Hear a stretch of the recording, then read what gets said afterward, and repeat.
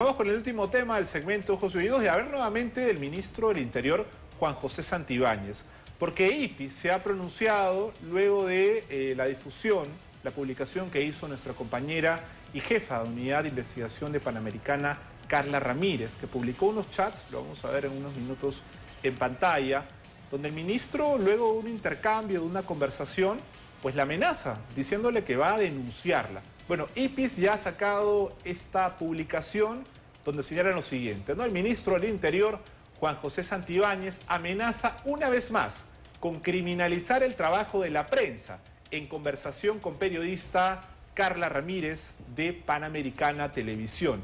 Esta no es la primera vez que Santibáñez se involucra en conductas manifiestamente hostiles contra la prensa. Y la pregunta que nos hacemos es, ¿qué hace el ministro amenazando a periodistas en vez de combatir la inseguridad ciudadana que se está desbordando en todo el país? No lo comprendemos. Honestamente, es cierto, ha tenido una actitud bastante hostil, no solo con la periodista y, compañera del canal, Carla Ramírez, sino también con otros colegas de distintos medios, a quien también ha amenazado con denunciar. Y bueno, nuestra colega la ha acusado de eh, difamación, de difamar al ministro y que va a tomar acciones legales al respecto.